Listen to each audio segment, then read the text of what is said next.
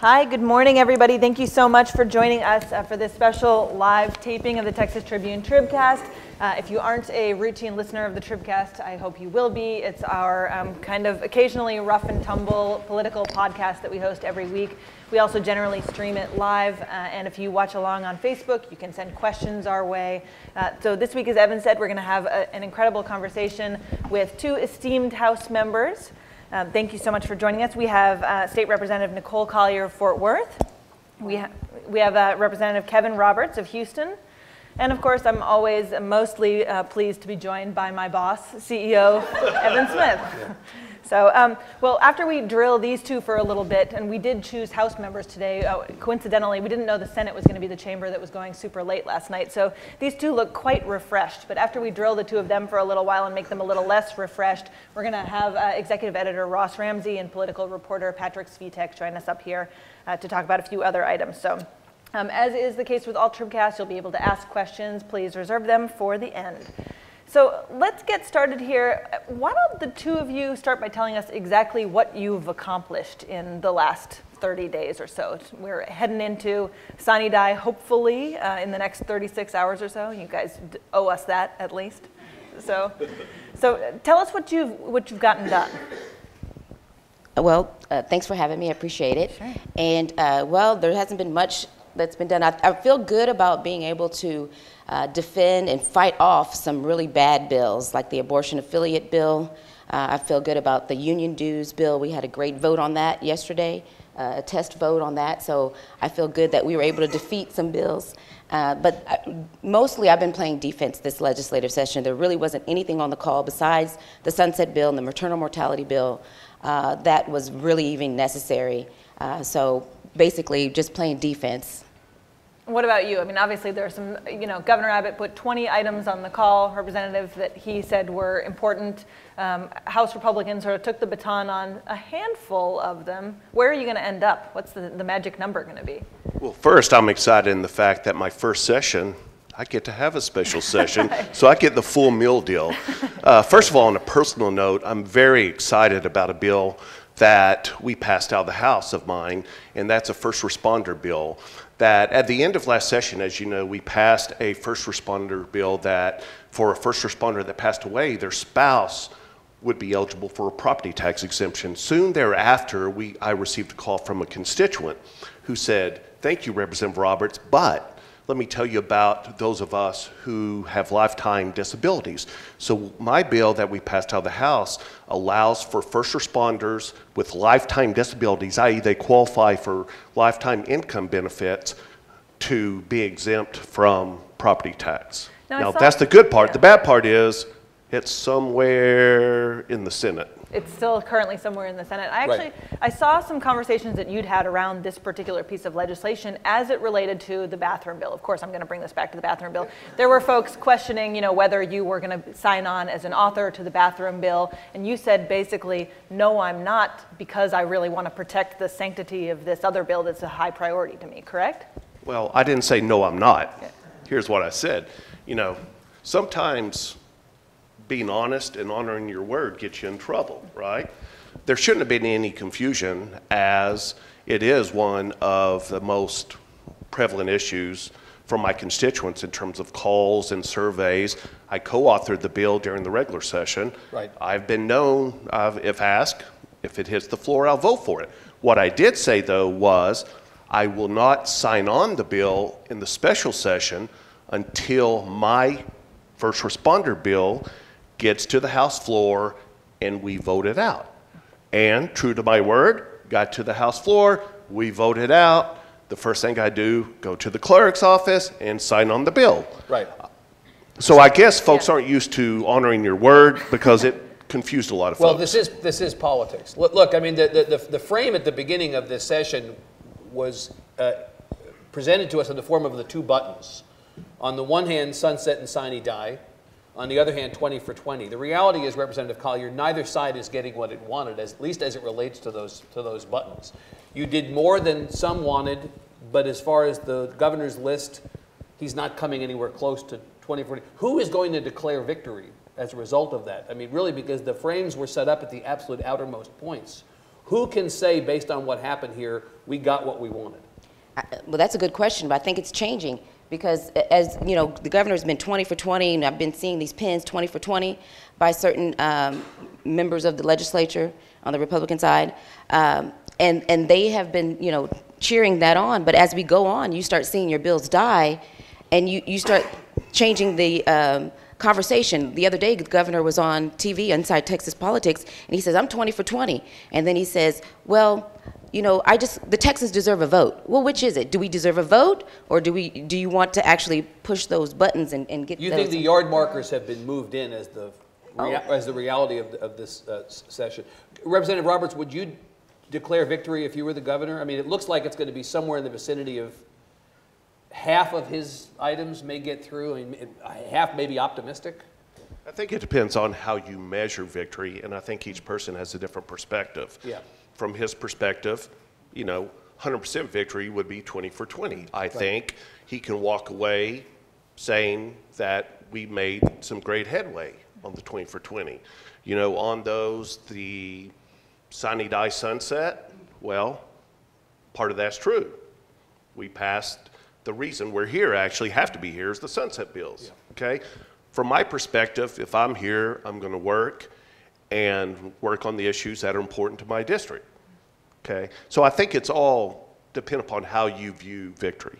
What kind of grand bargain do you think we might see coming together in the next, you know, 24 hours or so that might uh, move the needle on property taxes, on school finance?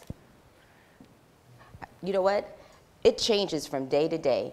And I can tell you this I don't know if I'm uh, in the legislature or if I'm watching Keyser Söze on The Usual Suspects because the plot twist and turn every day. That day sounded it's like one. an Evan Smith line. That's pretty good, I have to say. I'm- It just twists and turns. Dennis it's like Bonnen starts limping at the end of the session. I it's be. uh, I didn't say that, but yeah. Uh, Uh, but, but, but you, you you really don't, I mean, the reality is you don't know, because obviously we're all waiting to see, and some bills that were supposed to have been voted on were delayed, and there was a big fight over the delay, there was a big fight over amendments, but basically there is still a lot of balls in the air. Oh yeah. And, and you think that everything is connected? Oh, it's yeah, definitely. Yeah. I think the biggest change for me has been for 25 years in business, I've been on the inside developing strategy and moving chess pieces. Now, that's way above my pay grade now as a freshman, which I love being called a freshman because when you're my age, you don't often have that opportunity. I mean, what's being done behind the scenes, I can't even speak to. All I can speak to is once it gets to the floor, we'll see what it looks like. Mm-hmm. Will any of it, it does not sound like any of these negotiations are even touching on the bathroom bill at all. I mean, do you both think it's fair to say that the bathroom bill is dead for this special? I sure hope it is. I I mean, really, there's no reason to even have this bill because uh, uh, there has been so much opposition. Just like you were getting support from your community, I'm getting so much opposition from mine. It's not necessary. And I'm so glad that the business community came out and, and voiced their opposition to this bill. And you know what? I, I, I, I can, I think what I'm seeing, because we haven't had that bill to the floor, is that the people are realizing, and me- meaning the legislators are realizing, your big donors are opposed to this. And so we've got to listen to our donors. So you think as a practical matter, there's no vehicle where this thing could pop back up as an amendment on, as an amendment on a school-related bill or anything else? You, you think it is dead? You're confident that it's dead? Representative Roberts thinks it's too late. The clock has run out on those opportunities. Oh, no, I don't.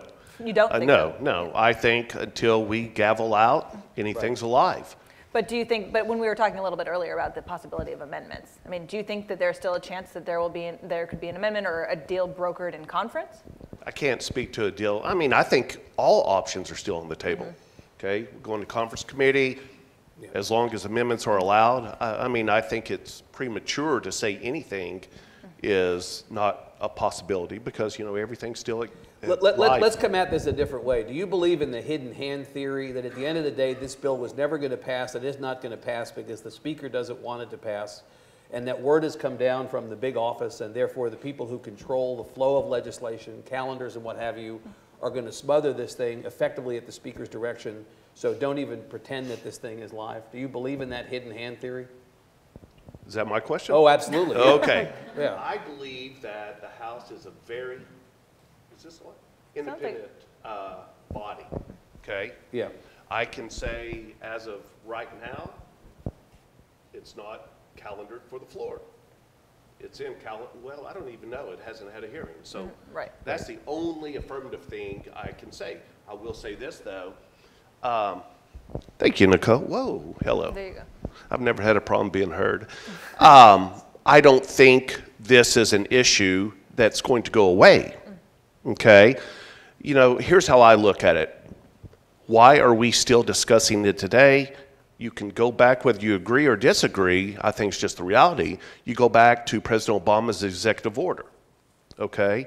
It's sort of like the Pastor Protection Act. Why did we have to pass an act to protect pastors from freedom of speech in the pulpit? Well, they're guaranteed freedom of speech, but we didn't have to until they get subpoenaed for their sermons. So similar here. You know, I haven't had any calls saying that they're little boys in girls' bathrooms, okay? But I've had many calls, and the 60 plus percent of the folks in our my district believe that there's a need for it. Okay, so I mean, you can look at it from a million different directions. You know, I don't think it's dead. Any, I don't think he thinks dead till it's dead, and I think we will see it again. Do you think we'll see uh, the lieutenant governor? I mean, he's been relatively quiet on this issue in the last week or two weeks. I mean, do you think there's a possibility we're going to see some um, some moves in the final sort of 36 hours here? On the bill? Mm-hmm.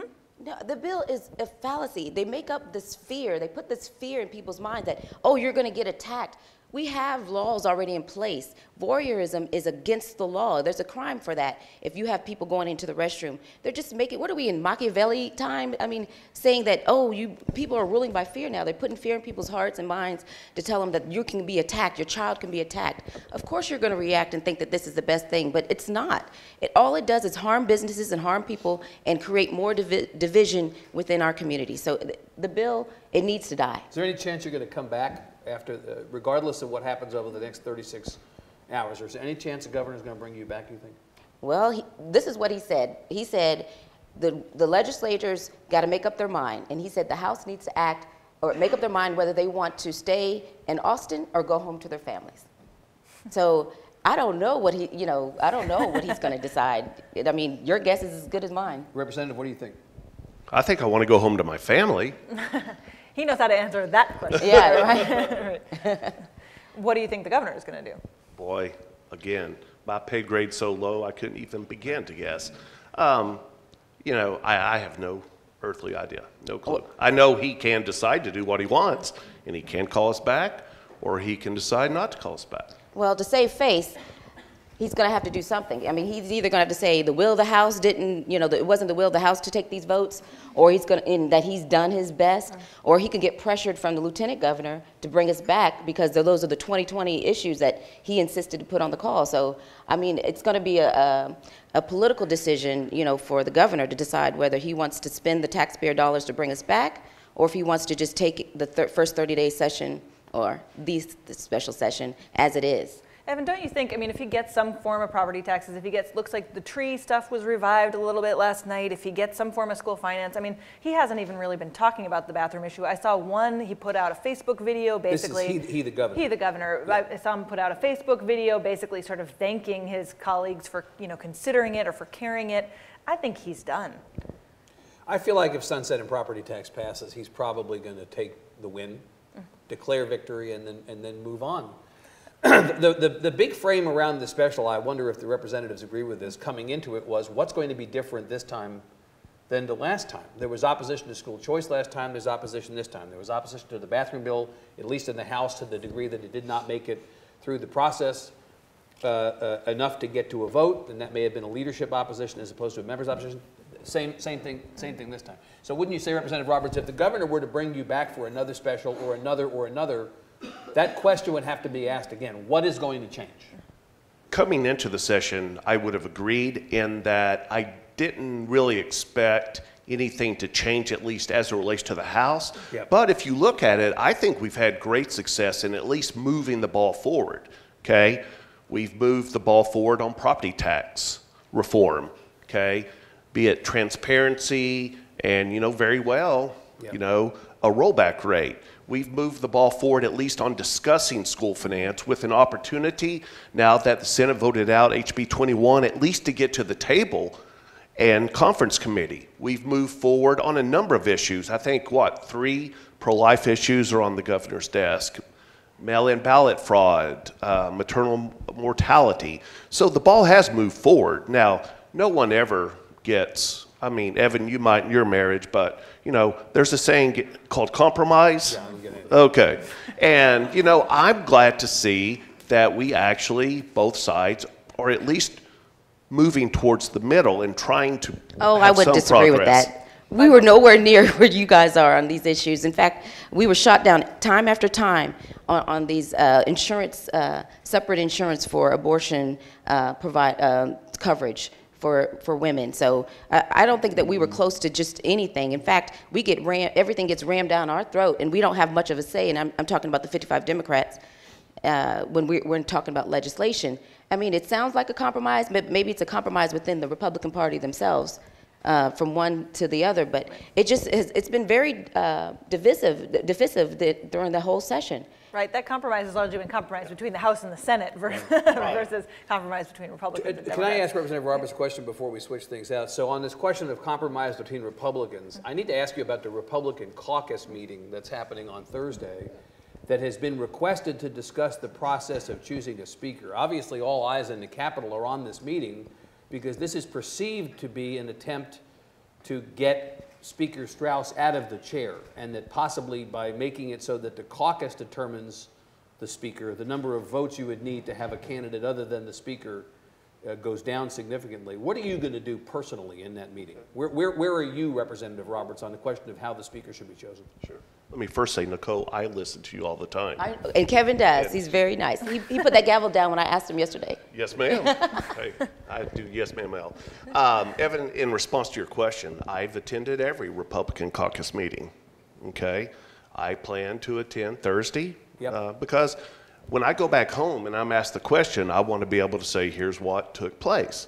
Here's the deal, though. As I understand the rules, there has to be a 15-day notification as it relates to any procedural change. So I'm not seeing anything earth-shattering occurring, but again, I have no clue what the topic is going to be. I just know I go to Republican caucus meetings, and I'll go there, and I'll let you. Will, will you commit to not having the speaker chosen in the Republican caucus, but having it be chosen by the full membership?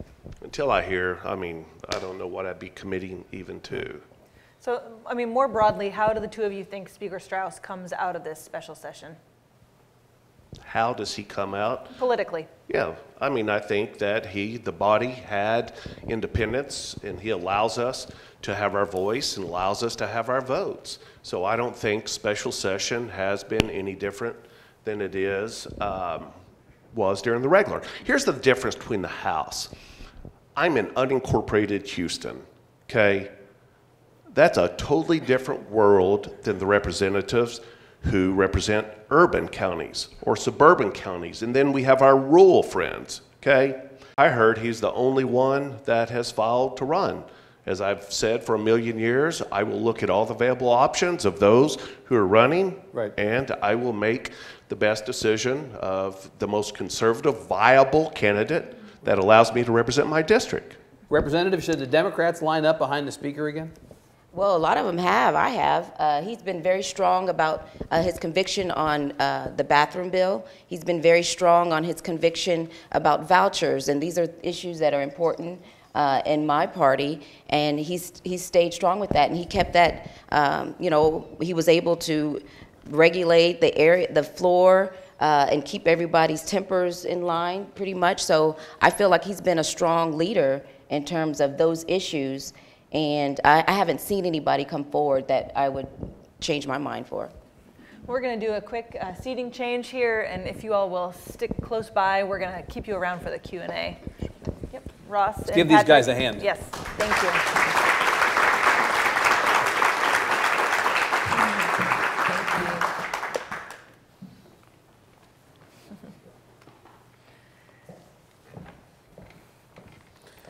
Finally, we're joined by people who actually know stuff. Yes, right? exactly. Well, one. Yes, one at least. All right, gentlemen, thank you for joining us. Well, why don't we start by the two of you giving us your sense of the big winners and big losers of the special legislative session? I think everyone can maybe say that they won at this point. Well, uh, talk when us this is through all over. Um, you know, I think the, the big question is how Abbott's going to define success. Obviously, it's fair to judge him, I think, by the, the 20 for 20 uh, benchmark or checkpoint that he put out at the beginning. But obviously, a lot of people did not expect, including I think himself privately, did not expect to get all the way to, to 20. And so it's a matter of um, not only how many items short of 20 does he get, but what exactly are those items. And I think right now, and this is an outstanding issue, is uh, what he's going to get on property taxes and what he's going to get on school finance. Um, both Yes, those you were up very late writing about those Right. things. yeah. Um, property taxes, you know, has advanced, has officially advanced to a conference committee. Um, school finance, I think, is moving toward a conference committee. Um, and I think, you know, it's just going to, it's, uh, I think Abbott's top priority is property taxes. Um, but He said we- publicly, that's my he's, top He's all but said that Right. publicly, and so he's, I think he, he and his office are intensely focused on that in the home stretch. Uh, but we have the situation now, obviously, where property taxes is uh, almost kind of, I, I think, or at least it, as of over the weekend, was kind of tied to school finance, and so you may not see movement on one without the other. Doesn't it look good, though? I mean, if Patrick is right that school finance and property tax are the things we have to get for the Right. governor to declare victory, we're headed in the right direction. Yeah, that's the governor's grand, that's the perspective on grand both of bargain at those, the end of this thing, and, you know, Right. they've got them all into kind of the penultimate position. So they're all ready to vote on if they can cut a deal, and it's, you know, all of those components together, from the School Finance Commission to the property tax bill, to the school finance bill that the House considers, the House leadership considers its property tax bill, and if you can make all of those pieces fit together well enough that uh, they all walk out, I, I think it's a win. I think, you know, if Straus can walk out of here and say, I called a special session, we took care of the thing we had to do,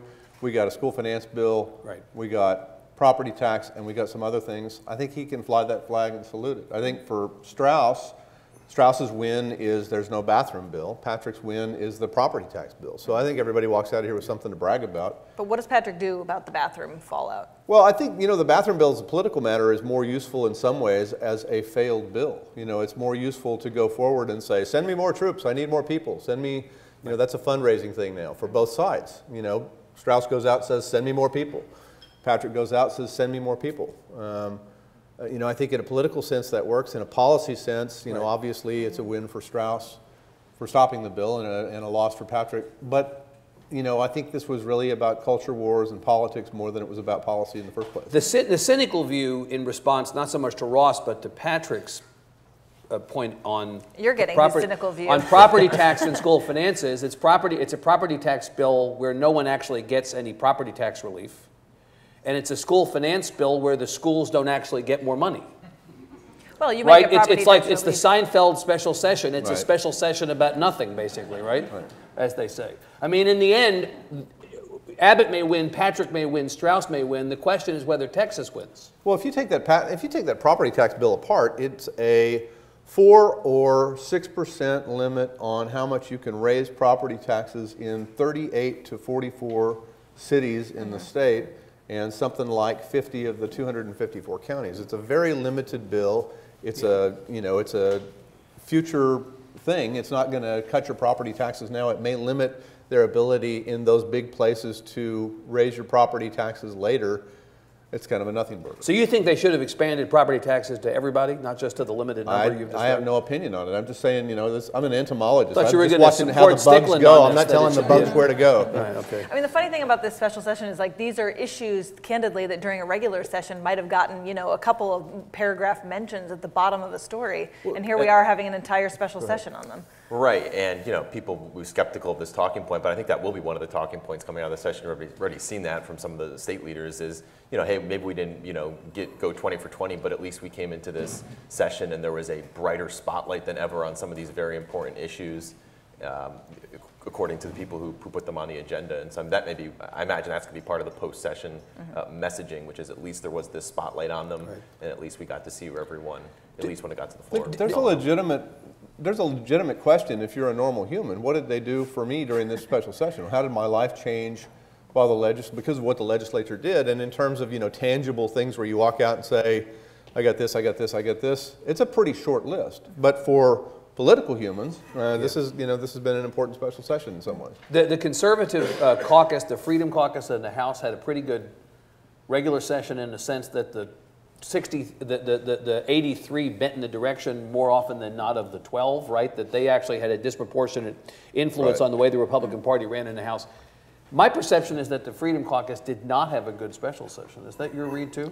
Well, I think a lot of what happened in the special session was, you know, everybody adjusts. This is cat and mouse. And, and the Freedom Caucus raised its game considerably during the regular session. You know, they took some, you know, we saw the Democrats do this years ago when Trey Martinez Fischer and, and Jim Dunnam and all of those folks were, Yvonne Davis, all of those folks were upping the game there. Freedom Caucus did that. The cat watched and learned some things and figured out how to shut them down. We saw that with the uh, vote, the move to call the question. Was that just yesterday? That was just yesterday. It seems like a week ago. Um, Right. You know, some maneuvers like that where they figured out how to get around them, and they've been boxed a little bit during the special. Do you expect to see anything from Dan Patrick on the bathroom bill in the next 24 hours? Sure. Um, you're going to send up a flare that says, you know, the reason this failed is because of, you know, some, whatever they want to call them, whatever name they put on it. You know, we need more people like us, and we've got a primary election ahead in which we can change the composition of the Texas legislature and get the kind of legislation that we want. You Uh, think, know, it's, you think it's dead? I think it's dead. I think, you know, it's, it's not, it never got referred to committee in the House, ne- much less heard, much less kicked out. I mean, during the regular session, though, there was some late night hearing, I think, where Senator Kolkhorst, you know, tried to tack it on as an amendment, like at one or two in the morning. Uh, Will there be some funny business? And We're we very close to to the the point where that thing, you know, just can't move. The last time you could have a calendar set for tomorrow, it's a 24-hour layout, so, you know, I think sometime this morning is the last time the calendars committee can set something for the House. It would have to come in as a miracle pass in a conference committee, and then you'd have to get it, you know, through all the Byzantine parliamentary stuff. I think it's dead. To, Ro- to Ross's point, this does become a political issue in the primary. They probably come after Cook, right, as the chair of state affairs, or Hunter as the chair of calendars for somehow being complicit with the speaker in killing this thing. I imagine it's an issue in primaries where it directly makes sense. Obviously, Cook, because he's the, the chairman of the State Affairs Committee, that could be an issue in that race. Um, but going back to the, the, the Dan Patrick question, my, Yeah. my read on this could be totally wrong, but what seems to be a little different uh, in the final days of the special versus the final days of the regular session, which is, by all appearances, a lot of people are still at the table right now, and negotiations are still going on. Right. Based on the reporting we've done, you know, at the end of the regular session, that final week, things were kind of pretty much had, people had stopped talking. I think. Yeah, nobody was even Um, speaking at to each other. You know, Yeah. No we did- We did a review Right. of the governor's schedule in that final week, and he wasn't really meeting with, with any of the legislative players. So it seems like everyone is still at the table who needs to be at the table for things to get done at, toward the end of the special session. And that may be why there's less of an incentive, even for someone like Dan Patrick, to go out and, and have a, a news conference and, you know, bemoan the, the death of the, the bathroom bill, for example. So. Right. Uh, well, I do want to talk for a couple minutes here about uh, Texas A&M has been in the headlines a lot. It's all over our website in the last um, 48 hours in the aftermath of Charlottesville. Uh, initially, it was that on September 11th, Texas A&M was going to be, you know, home to a uh, an alt-right. Sure they um, like the home yeah, to home to right, a white supremacist rally uh, protest, and then uh, I guess John Sharp, Chancellor, came out yesterday and said, "Thanks, but no thanks." Right, not in my house. Um, you know, I think there's going to be a fight here. You know, this is obviously, you know, from one side, well, I guess from both sides, this is a free speech thing and a, and a provocation thing. Sharp said we don't have the security for this. The cops say we can't secure the campus. This is a bad idea. Let's don't have this thing at A&M. I think the other side, uh, they've already indicated that they're going to sue and say, you know, we have a free speech right to do this and to do it at A&M. I don't think it's over yet, but I think, you know, this is um, developing into, you know, the flashpoint maybe in court. Are you instead of surpri- are you on- surprised instead of this is the- at Texas A&M? This is the end. I, and I, I thought A&M wouldn't have the ability to not have this rally. I don't. I don't think. I'm not sure they do have the I- ability I'm, not I'm, to I'm have with the Emily. rally. I'm not sure that they can actually stop this rally, but they can, you know, raise the profile of their opposition to having an event like this. And, you know, when you do have an event like this after a big court fight, it, it could be a very different event than would have taken place otherwise. I mean, you could have had another Charlottesville. I think ramping it up like this is probably going to make it a very high profile sort of, you know, the event itself may be Right. Right. I mean, you see, Kind of you know, the, the Ku Klux Klan does stuff like this, you know, all over the country. I mean, I don't. I feel like this has been litigated before. I'm, I'd be really curious for the legal community to sort of weigh in and say, like, what can or, or can't we stop here? Right. You can imagine this is a fight the ACLU is not going to particularly enjoy having to have. Well, and it's going to fit On, into. on, beha- on behalf of Richard Spencer. Right. Well, and it's going to and it's going to fit into this whole bigger thing that's been going on for a couple of years now on who gets to appear on campus, when mm-hmm. Do they get to appear on campus, what's offensive, what's educational, you know, what's the spectrum of free speech that's allowed on a campus, mm-hmm. particularly a public university campus. Um, I, you know, I think Sharp may be on the politically right side of this, but um, as a policy matter or a constitutional matter, I think he's probably going to lose. What's the, the political conversation been around this? I mean, obviously, after you know President Trump sort of uh, equivocated in his in his public statements on this, how have we seen Texas officials respond, and, and how strongly, and in what kind of language? I don't think it's been much of a political matter in Texas, at least compared to you know what happened with Trump over the weekend. I think Right. Republicans and Democrats alike in Texas have been pretty unequivocal in, in condemning this and calling it uh, what it is. I mean, you even, uh, I mean, this sounds cynical, but you know, to some people it was a surprise, for example, that Ted Cruz came out as uh, strongly as he did against this on, on Saturday. And early. if only because he is, you know, since Trump was elected, tried to avoid outflanking him on any issue or trying to avoid appearing at odds with him on any issue. And yet he came out, you know, hours after Trump was criticized for being, uh, you know, for insufficiently condemning this violence. Cruz came out and said we need a, a federal investigation or a, Department of Justice, Justice investigation. Uh, but, you know, I think in, in Texas it's been, the, the reaction's been relatively uh, non-controversial because it's been the right reaction. And you had something of a kumbaya moment. Let's give the legislature credit yesterday. There was uni- unanimity on the floor of the House yesterday, Republicans and Democrats. And in the Senate. and in the Senate. giving you credit. There was, and there was actually, and there was, and I think there was real emotion in the Senate, particularly along with the House over this. And, you know, you had a number of people on both sides talking about if there is this rally, we're going to go, we're going to stand strong. And Schwertner was saying, yeah, United put out a against this prominent alumnus of Texas A&M was going to go to the rally and be a, a voice of opposition to it. Now there's not going to be a rally, at least it appears, for the, Right. in the short term. But, you know, whatever, there, whatever disagreement there may have been at the federal level, you know, uh, nothing like that at all.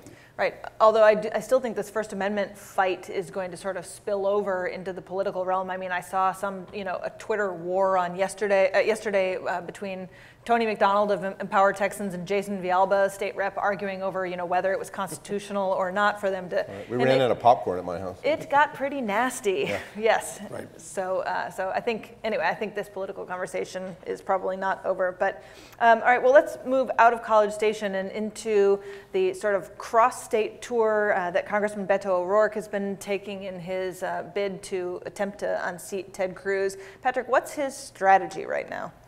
His strategy is, is what the strategy should be right now for someone who has as, as long of a shot at this uh, race that he does, which is work really hard, be everywhere, and do it as, as, as early as possible. Um, you know, what we first reported, you know, is that he is going to be on the road by for all of August. It's going to be a totally, in total, I think a 34-day tour of the state. He's not going home to El Paso until August 31st, which is, you know, certainly a, striking amount of time. Um, but again, you know, what, like I said, it, it's what he needs to do uh, to, you know, you know, come within, you know, uh, having a chance of, of, of unseating Ted Cruz. Yeah, flashback six years. You know, there was a, a nobody candidate running against the wealthy and powerful David Dewhurst, and he went to every Rotary Club. This is Ted Cruz. He went to every Rotary Club. He went to every place where there were three people eating chicken to talk to him, and did it and did it and did it and did it, and nothing became something. And you know, Beto's trying to go all Ted Cruz on him. The difference is that when Ted Cruz won that primary, there were Republican voters waiting to support him in the fall. The problem, obviously, for Beto O'Rourke or for any other Democrat, no matter how many days he spends in places where Democrats typically don't win elections, like Lubbock or Amarillo or what have you, is he gets out of a primary. Presumably, he's the only candidate in that race, but let's assume he has to win a nominal primary to be the Democratic nominee. He starts off probably at a 10 to 15 point disadvantage going into a fall election against Cruz. And so he's really got to hope for some magic to happen, change the conversation, some kind of national Republican collapse that bleeds in to Texas in order for him to be competitive. Um, Right. I mean, thir- 34 days on the road is a great strategy. He ought to be doing that, and he ought to be hitting them where they ain't in sports terms. That's how you're going to. You're only. That's the only way you're going to change this. But it's still an enormously uphill battle for him, right? Right. How do you hit them where they ain't in Texas? Well, I think you have to go to places where people typically don't see Democratic candidates. Look, Governor Abbott deserved credit and found success in traveling as a candidate for governor last time to places where Republican candidates typically don't go looking for votes. His percentage of the Latino vote in the last election was in part a byproduct of his going to Latino communities that traditionally voted Democratic and asking to be considered in the last election, and he had some success in doing that.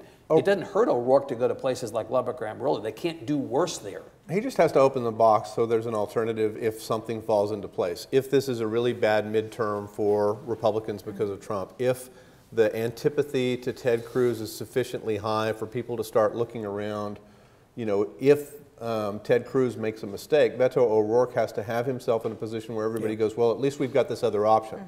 Right now, he's unknown. So, you know, a tour like this raises his profile. He's got, you know, the first $5 million in a statewide campaign in Texas is here's my name. And he's buying, you know, Yeah. with sweat equity some of that first $5 million. And the conversation that you're now hearing in the press about where's the Democratic candidate for governor and where are the Democratic candidates for these other races is in part the warm body theory. You can't beat somebody with nobody. Right. You, better to beat somebody with somebody, with a real somebody, as opposed to a fake somebody. And that's why, if, if these elections all of a sudden become competitive because the national environment for Republicans were to change and were to bleed down into Texas, you got to have somebody in those races. Right now, O'Rourke is the only named candidate running for any of those seats that are on the ballot. And how is O'Rourke navigating his sort of newfound friendship with uh, with Republican Will Hurd? Uh, you know, they took this sort of cross-country road trip, stopping at a lot of DQs along the way. H- how does he balance this when you know when O'Rourke's party is obviously trying aggressively to to unseat Will Hurd? Yeah, this is kind of an angle that hasn't, I think, gotten all the way to the surface yet, but you start seeing it when you follow their events. You know, O'Rourke at a few events has been questioned by audience members about why he's, uh, you know, as people say, uh, you know, working to make Will Hurd look cool when we're trying to unseat Will Hurd. You know, these are Democratic activists who are in the San Antonio area or whatever. They're in that congressional district. They've, you know, worked multiple cycles probably to try to unseat Will Hurd, who actually just wrapped up his own town hall tour Right. of, uh, you know, did six days, 20 town halls. That actually was a DQ tour, I at think. DQs, Right. yeah. Right. DC to DQ, Right, Right. right. Not a bad Um, choice. And so we haven't seen the storyline emerge too much quite yet, but we've been following it. And it raises some interesting questions down the line for 2018 for the, the state party, which is you know going to be uh, state party and national parties going to be focused on unseating those three Republican congressional incumbents: Pete Sessions, John Culberson, and Will Hurd. And uh, you know Beto O'Rourke's going to be effectively the top of the ticket for the Democrats in, in Texas, and I imagine he's they're going to look to him to maybe do some kind of coordinated events where he you know may end up at a a a rally in San Antonio where he's campaigning with the Democratic nominee to unseat. Uh, Well, Will it'll be news if he doesn't endorse the Democrat in that race because of his bestie running as a Republican, right? Right, and he's, he's told me, Right. he told, Beto told me uh, at the, you know, beginning of this, or beginning of July, that he doesn't plan to get involved in efforts to unseat Hurd, which is something that party Oh, probably oh, doesn't want to right. hear. I mean, that's going to infuriate them if the top. I just I don't And it- understand It how just he- shows the balancing act that he has, and he tries to, you know, project this image I as think a the activists are going to be. I think the activists are irritated at both of them. But I think you know the the play here is, you know, everybody else who's not an activist is looking at this and going, finally, somebody's talking to each other. right, You know, I- I right. think- Representative Roberts was talking about I think there's compromise. as- yeah. I think they get as much positive or more positive bounce out of this than they get negative bounce. You're would agree with talking about them. I think the two of Right. them get more positive bounce. I Right, think and I think, it- I think, you not know, great for Pete As, Gallego. as irritating as this might be to other Democrats on one hand and Republicans on the other hand, it's beneficial to the two candidates who are doing it, and that's why they're doing it. Mm-hmm. Uh, well, let's talk about another Democrat who may be sort of plotting his political course. I mean, we, we don't have other sort of big names to top tickets, but what's what's Julian Castro's plan? He's got a political action committee. What's it, what is he thinking? Yeah, he and his supporters or allies, whatever you want to call them, uh, you know, operatives close to him, uh, filed paperwork, I believe, last week to set up kind of a, con- you know, the beginnings of what looks like a, a constellation of po- new political groups uh, to help him, you know, lay the groundwork potentially for a 2020 presidential run. Um, these are the kind of, you know, groups that you would use to support, uh, you know, candidates at every level across the country over the next two, two and a half, three years. Um, and then you could, you know, turn around and, and, you know, kind of cash those chits in when you run for president, basically. I mean, um, obviously there are a lot of names right now in the mix for the, the Democratic primary field in 2020, but he is definitely, I think, ahead of the curve in terms of actually taking a step to setting up this kind of group. I don't think a lot of the other 2020 people um, have done this yet, or maybe they, you know, they already have this, but have not done this yet within the context of the upcoming election cycle. Evan, you've obviously spent a lot of time on stage with him or having conversations with him. What's your He- He's on this? never denied, although he's been asked directly, he's never been denied, he's never denied that he's interested in 2020. He said he'll basically consider that option when it, you know, when, when, when the time comes. Uh, and as Patrick says, he, he's hardly the only person to set up such a, a, a committee to raise money that would allow him to travel, would allow him to give money to other campaigns, to build name ID, and to collect chits.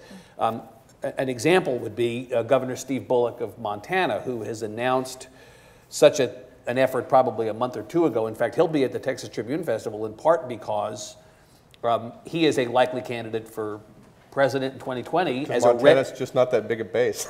well, Montana's about as big as Waco, right? I mean, Right. from a population standpoint. But, um, but, but, but, you know, it's a red state Democrat who's had some success and could possibly teach other Democrats in red states how to, you know, how to get excited and enthusiastic about the party. Look, uh, we may be nostalgic for the relatively small number of Republicans who ran last time. When we get into the Democratic primary this time, I mean, you could you could have 30 Democrats at all levels, you know, Washington types, governors, congressmen. You got a couple of mayors, Garcetti in Los Angeles and Landrieu in New Orleans, among others, who talked about running. I mean, you've got a whole bunch of people running at all levels. And there may be one candidate for president among the Democrats for every one of us in this room before this is over. And I, I- I think, an- this is an original thought, another reporter I think pointed this out on Twitter, Yeah. but it's got to be cold comfort to Texas Democrats who, a lot of them probably wanted to see Julian Castro or a Castro run statewide Statewide, 2019, right. to see him instead taking a step toward, you know, potentially jumping into this scrum for 2020. Right. Maybe easier to beat Steve Bullock than Greg Abbott. Right. Yeah, at the end of this, we're going to look up and say, you know, how did Beto O'Rourke, either, how did Beto O'Rourke know that? He lucked out and he got into office, or we're going to be saying, you know, the Democrats hit 40% or 38% again. Mm. And, you know, the Castros and people situated like that are either going to look really smart or really stupid. The bet right now is that things will go like they have gone. Well, if you want to look really smart or really stupid, we would love for you to send questions our way, mostly smart. We also have our two lawmakers here who will have uh, a mic available to them, I hope, yes, uh, to answer questions. So um, raise your hand and uh, throw in. We'd love to hear from you. Otherwise, I'm going to call on Tyler Norris. Ma'am. Uh, good morning. Thank you for being here. Uh, after the events of uh, last weekend, and you know the accent is French, so we'll set the tone for that. Uh, what is your position as far as revisiting the signage and monuments in the city that are glorifying certain individuals from times that represent values that we no longer embrace? I think, I think this is actually a good one for the lawmakers. There have been lots of conversations around the Confederate monuments on the state capitol grounds, on the UT campus. What do y'all think? Well, I think that we need to come into the 21st century and, and acknowledge that hate is evil and that, you know, everyone's equal.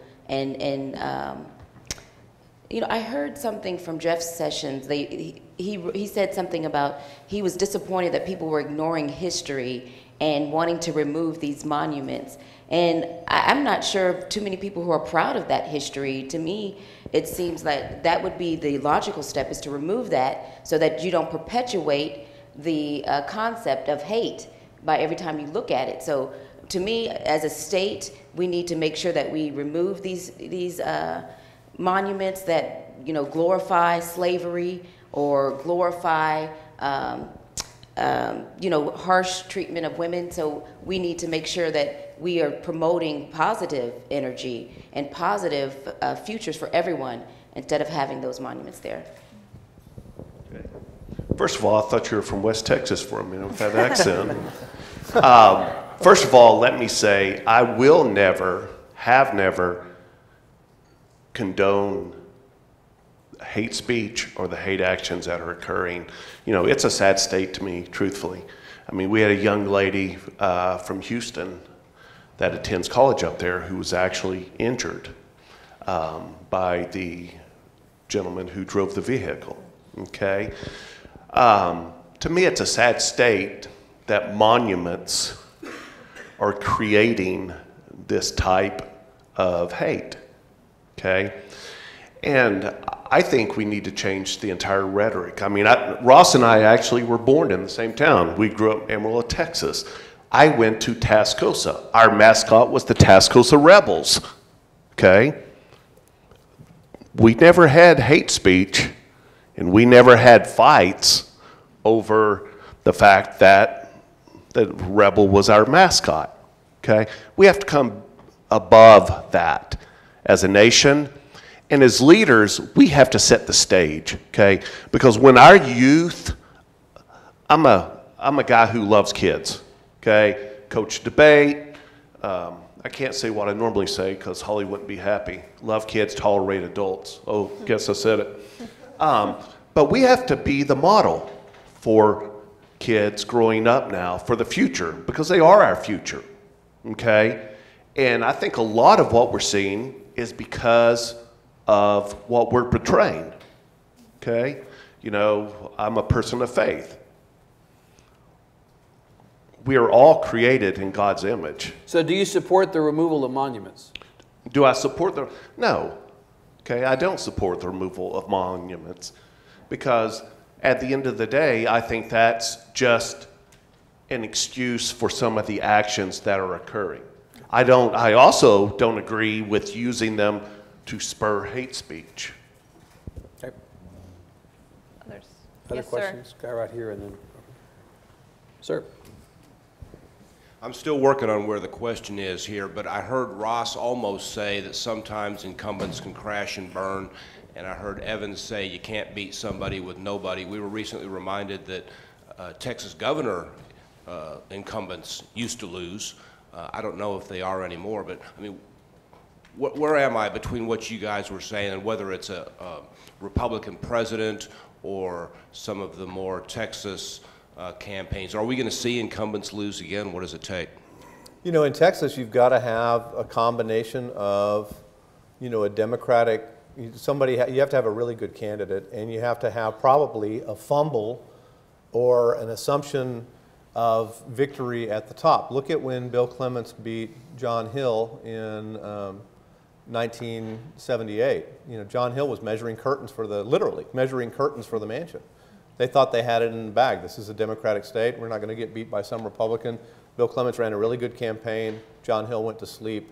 They got a surprise. You've got to have some combination of a bad Republican environment, a mediocre campaign from the Republican incumbent or some distaste for the Republican incumbent, and a Democrat who's in position to take advantage of that. Um, so, you know, it kind of incorporates what Evan was saying, what I was saying.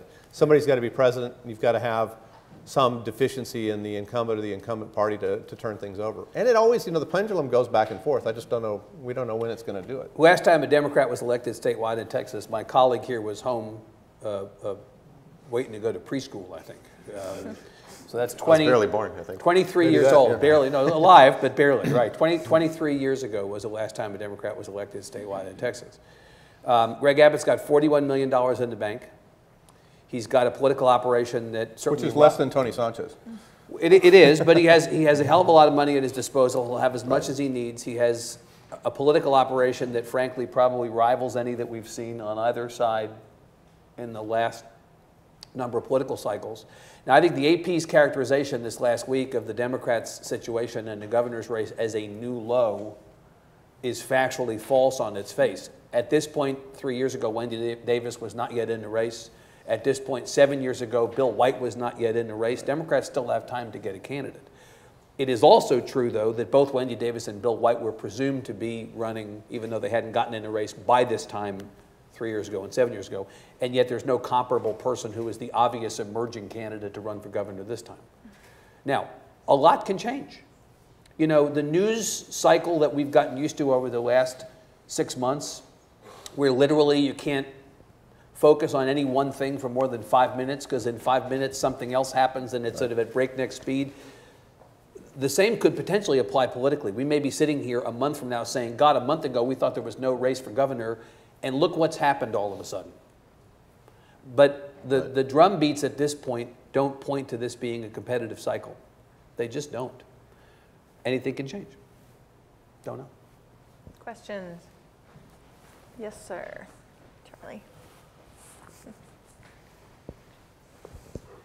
Do you all think we're going to see any political backlash against Representative Fallon um, after what happened in Charlottesville this weekend from the regular session where he filed the bill limiting the liability of drivers who hit protesters?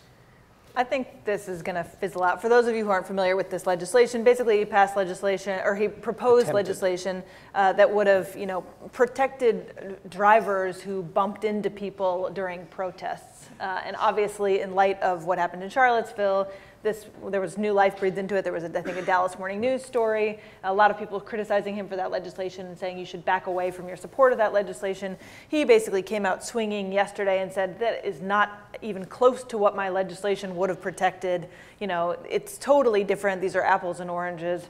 I think it was a good headline um, and sort of a juicy headline on the day after a, a major tragedy. But I think this is they, there is enough sort of space between the, the meaning behind this, this legislation that it will fizzle out. Yeah, the asterisk on this is that Fallon's not running for reelection. He's going to run against Craig Estes for Senate. And, you know, I think Craig Estes will probably do a mailer with just that headline on it. Um, and, you know, if it was a regular race, just a reelection race, I think he'd be fine. Uh, I think, you know, I'm not sure it's going to affect a Senate race one way or the other, um, but I'm sure Estes will have it in a, in a folder somewhere.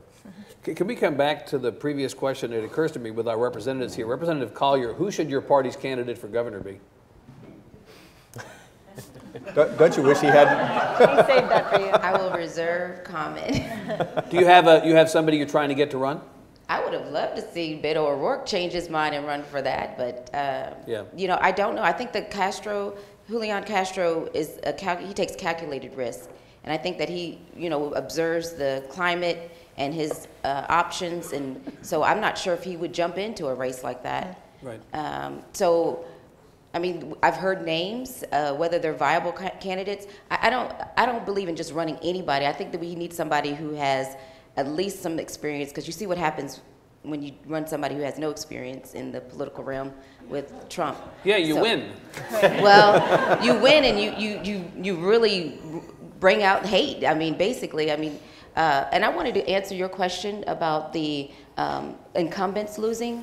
Uh, you know, do we think we're going to lose any incumbents? What my, I mean, there's some really good uh, leaders. Uh, Chairman Cook has been the voice of reason throughout the whole session and the special session. So I hope we would not lose him. I hope he doesn't decide to retire because you still need some institutional knowledge uh, about the process and in the House uh, whether you know Republican or Democrat, but it's good to have institutional knowledge. But I'll tell you this: the Freedom Caucus has been going around the floor saying, "Oh, we're going to have a mailer out on you on that." So I mean, they're targeting incumbents. Uh, you know, making note of every vote, making sure that every vote is recorded. So uh, a lot of people, I can tell, and to me. I, I don't think it's funny, but it's like, wow, I mean, I don't have that much pressure on me. But every vote that they take, they're taking notes and they're writing down their names. Just like when Governor Abbott said, I want a list of people who support uh, my, my legislation, and, and, and you better sign your name by Friday. I mean, this is the same tactics that they're doing coming after incumbents, trying to scare them more further right than what they really would be. So uh, I, do, I do see some targeted races that are going to be coming out, and we're going to see some uh, turnover. Let Representative Roberts just answer. The, do do you have a point of view about challenges to incumbent Republicans, Representative? First of all, Governor Abbott would be my answer. Our candidate. Yeah. Um, do I have a view on incumbents? Yeah, I have an interesting view. Can I stand up? Sure, please.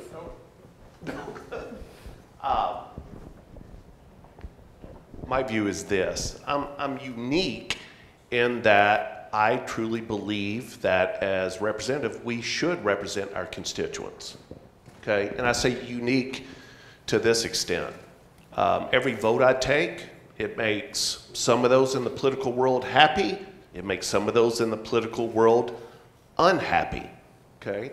I think as it relates to incumbents, those who are truly listening to their community, who are voting based upon the interest and input of their community, they will be fine because those are the folks that are going to the ballot box to vote. Now, that doesn't mean that all these machines on the outskirts will not come at them or come at you. Okay? I'm starting to get a collection of nice little mail pieces with my name on it. But at the end of the day, I mean, I'm in the job, for example, as as Ms. Collier and most and many of our representatives to represent their district. And that's all you can do. And I think if you do that, then the rest takes care of itself. Let's do, we have time for one quick additional question. Woman in red, Thank you, Representative. In that regard, uh, there's a lot of growing diversity in Texas, and I represent one of those. I was just trying to see what we're doing in order to um, reach that diversity, and uh, you know, from the Texas Tribune or otherwise, and also encourage leadership or just report on other leaders as well. Thank you. Do you want to jump into that first? I heard a great quote this past Sunday, um, attending a church here, great church here in, in uh, Houston, and it was based upon community. And the quote was, if you don't like diversity now, you're not going to like heaven. I mean, we are a diverse state. We are a diverse city. We are a diverse nation. Okay? And I know that speaking for myself, I represent every constituent. Okay? I reach out to the Democratic candidate that ran against me. And I ask, what are you hearing from those in your community? I will vote if 10 folks give me input on an issue, okay, assuming that there's no unintended consequences, I will vote to represent those 10 individuals. So, you know, anybody that says we're not a diverse, that our districts aren't diverse, okay, um, they're the ones that are going to have trouble in re-elections because they have picked the comfort spot of their world to represent that. That may not be the view. Here's how I look at it I represent real people with real issues, and that means everyone. Um, Great question. Um, I, I think that I, I'm just slightly, uh, I think that you're right about diversity. If you don't like it here, you won't like it in heaven. I think that's a fabulous quote. Uh, The only thing is that the way redistricting works is that they pack districts with the same type of people. So if you have a rural district, you're probably going to have a lot of Caucasian members or, or a lot of Latinos or, you know, I don't know. You'll have a lot of people that look like you in your district. My district is no different. I have a lot of African Americans in my district because it's been packed that way. And until we can fix redistricting, you're not going to see as much diversity uh, that's going around. Uh, I don't even know if there's that, maybe 10 flip districts in the whole. Um, Maybe. Maybe how many? May- 10 Maybe. 10 or 15. Yeah, maybe 10 or 15 flip, that are, you know, 50, 51 or 48, you know, something like that. Mostly, it's like I have a 78%, a 77% Democratic district. I'm sure you have a, a very large district as well.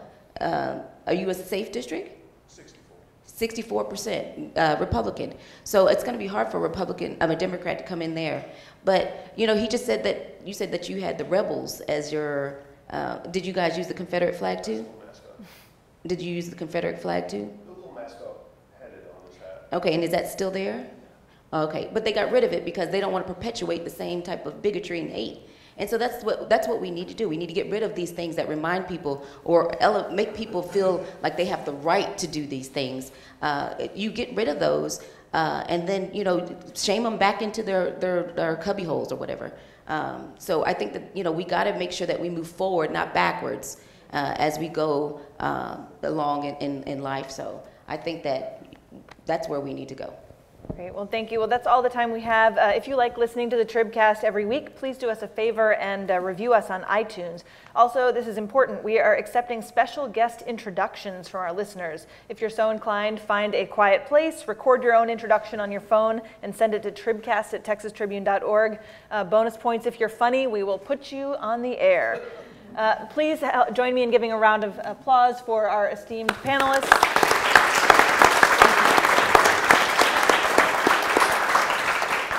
And thanks so much to our producers, Todd and Bobby. We are so glad you joined us. We'll be back on the airwaves next week. Thanks again. Thanks.